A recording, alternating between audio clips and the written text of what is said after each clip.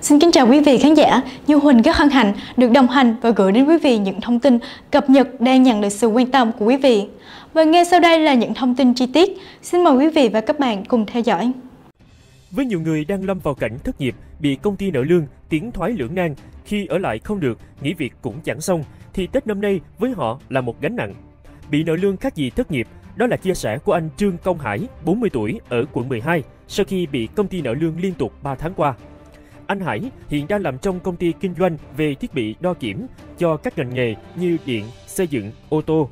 Anh cho biết nhiều ngành bị ảnh hưởng chung bởi suy thoái kinh tế dẫn đến việc thu hẹp kinh doanh, sản xuất. Vì vậy, công ty của anh cũng không ngoài vòng và lây. Sau khi vợ anh sinh bé thứ hai hồi năm ngoái thì cũng bắt đầu nghỉ việc để toàn tâm chăm sóc con. Mức lương gần 30 triệu đồng một tháng của anh Hải đủ trang trải chi phí trong gia đình vẫn dư ra hơn 5 triệu đồng để trả góp căn chung cư mua từ 4 năm trước. Tôi từng nghĩ cuộc sống như vậy là đã tạm ổn định. Vợ chồng tôi tính khi con út lớn hơn một chút sẽ gửi nhà trẻ, vợ đi làm lại thì sẽ có dư, anh ngậm ngùi. Nhưng hiện giờ anh đã chính thức trở thành con nợ sau khi tiêu hết khoản dự trữ ít ỏi. Tháng cuối cùng của năm 2023, anh buộc lòng gọi điện hỏi mượn tiền gia đình, bạn bè để đóng lãi ngân hàng. Anh Hải cho rằng đây là lúc anh cảm thấy bế tắc nhất trong suốt gần 20 năm đi làm của mình, hơn cả thời điểm dịch Covid-19 Vốn là dân kinh tế, lại có kinh nghiệm làm ở bộ phận kinh doanh của nhiều công ty, anh Hải nhận định rằng nợ lương là điểm cuối cùng của một doanh nghiệp. Vì thế, trong thời gian này, anh cũng loay hoay tìm việc ở nhiều nơi, mong rằng có thể đi làm ngay để kiếm thêm thu nhập, trang trải chi phí sinh hoạt trong gia đình hàng ngày. Kinh tế thế giới năm 2023 tiếp tục đối mặt với nhiều khó khăn. Trong nước, tình trạng nhiều lao động buộc nghỉ giãn việc, thôi việc, mất việc ở các doanh nghiệp đang diễn ra. Những người trước đây vốn có thu nhập ổn định trong nhiều ngành nghề như IT, nhân viên kinh doanh, nhân viên văn phòng, giờ đây bị doanh nghiệp nợ lương, ngừng hợp đồng. Tất cả đang xoay sở tìm công việc mới vào thời điểm cuối năm để mong có thu nhập đủ sống khi Tết cận kề, nhưng mọi chuyện không dễ dàng. Tuyết Trinh, 33 tuổi, ở quận Bình Thạnh, là trụ cột gia đình khi đang nuôi mẹ già và em trai còn đi học nửa năm qua, đã phải bán hàng online để kiếm thêm thu nhập. Trinh cho biết Hiện cô là nhân viên chuyên soạn thảo hợp đồng ở một công ty con thuộc tập đoàn xây dựng có tiếng ở thành phố Hồ Chí Minh. Với mức lương gần 20 triệu đồng một tháng, thưởng Tết có năm hơn 50 triệu đồng, nhưng giờ đây cô gái chỉ nhận về 6 triệu đồng một tháng vì công ty nợ lương.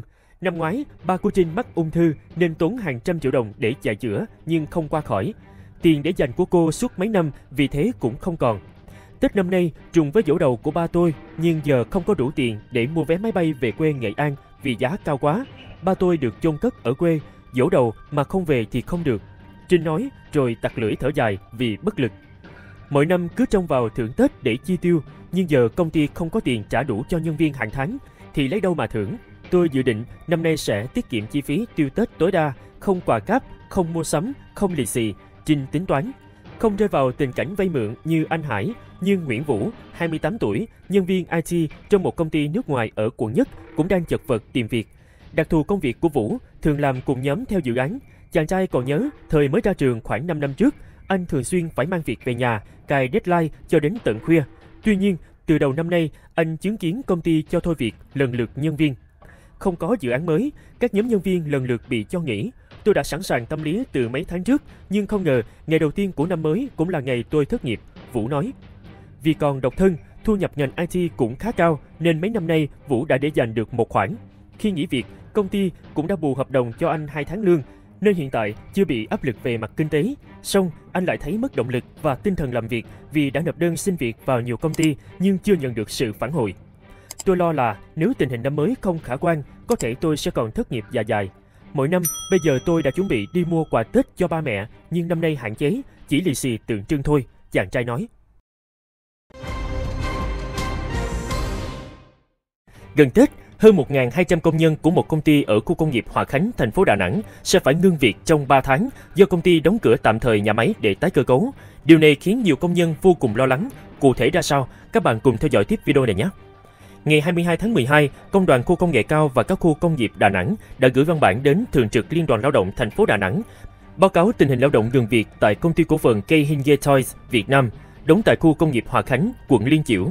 Cụ thể, ngày 21 tháng 12, Công đoàn nhận được thông tin nhanh từ công đoàn cơ sở công ty này và phản ánh của người lao động về việc dự kiến công ty sẽ đóng cửa tạm thời nhà máy sau cuộc họp giữa công ty và công đoàn cơ sở chiều 21 tháng 12, tổng số lao động đang làm việc tại nhà máy khoảng 1.250 người sẽ phải ngừng việc trong 3 tháng, bắt đầu từ ngày 25 tháng 12 và hưởng chế độ tiền lương theo luật lao động.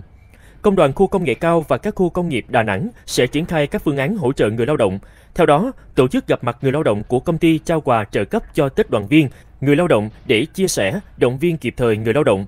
Tạo diễn đàn để người lao động đối thoại với người sử dụng lao động, giải đáp các thắc mắc trước khi ngừng việc, ra soát số lao động ngoại tỉnh có nhu cầu về quê sẽ hỗ trợ chi phí vé xe trong chương trình Hành trình Tết Công đoàn. Công đoàn cũng đề xuất với Thường trực Liên đoàn Lao động thành phố Đà Nẵng các phương án như đề nghị liên đoàn phối hợp với Sở Lao động Thương binh và Xã hội thành phố kiểm tra nhanh về việc đóng cửa tạm thời doanh nghiệp trong thời gian 3 tháng, phương án trả lương ngừng việc cho người lao động trong thời gian 3 tháng. Ngoài ra là các chế độ theo thỏa ước lao động tập thể và các thỏa thuận khác nếu có trong thời gian cuối năm và Tết Nguyên đán Giáp Thìn. Đề nghị Liên đoàn trình Ủy ban nhân dân thành phố, thành ủy hỗ trợ cho 1.250 người lao động bị ngừng việc để ổn định tình hình an ninh trật tự, an ninh công nhân trên địa bàn giai đoạn cuối năm. Công đoàn đã rà soát tất cả các quy định hỗ trợ cho người lao động bị ngừng việc theo quyết định 7785 của Tổng Liên đoàn Lao động Việt Nam. Tuy nhiên, người lao động không đảm bảo các điều kiện hỗ trợ.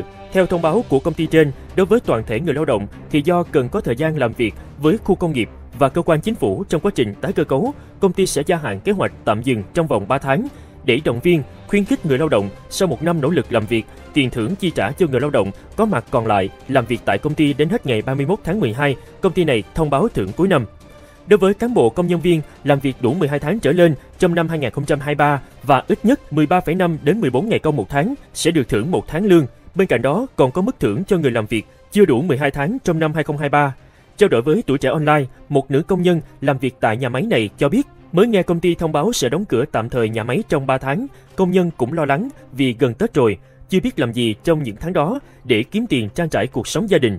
Được biết, công ty Keihin Toy Việt Nam hoạt động chính trong lĩnh vực sản xuất và kinh doanh đồ chơi trẻ em. Lãnh đạo ban quản lý khu công nghệ cao và các khu công nghiệp thành phố Đà Nẵng cho hay, hiện nay ngoài công ty này cho công nhân tạm ngừng việc, những công ty còn lại vẫn hoạt động bình thường, chưa có tình trạng cho công nhân nghỉ việc. Thời gian tới, Cà phê Lên TV sẽ triển khai nhiều video hấp dẫn về hỏi đáp từ hội viên, series kiến thức bất động sản, review khu vực hay dự án theo yêu cầu từ hội viên, tin nóng về hạ tầng. Những video này chỉ dành riêng cho hội viên của kênh Cà phê Lên TV. Trân trọng mời các bạn đăng ký trở thành hội viên ngay hôm nay để chúng tôi có động lực phát triển nhiều video hay và bổ ích hơn nữa. Với những thông tin mà chúng tôi vừa chia sẻ cũng đã khép lại chương trình ngày hôm nay. Cảm ơn quý vị và các bạn đã theo dõi và đừng quên nhấn like, share và đăng ký kênh để cập nhật nhiều tin tức về kinh tế, tài chính, bất động sản bạn nhé. Và bây giờ xin chào và hẹn gặp lại.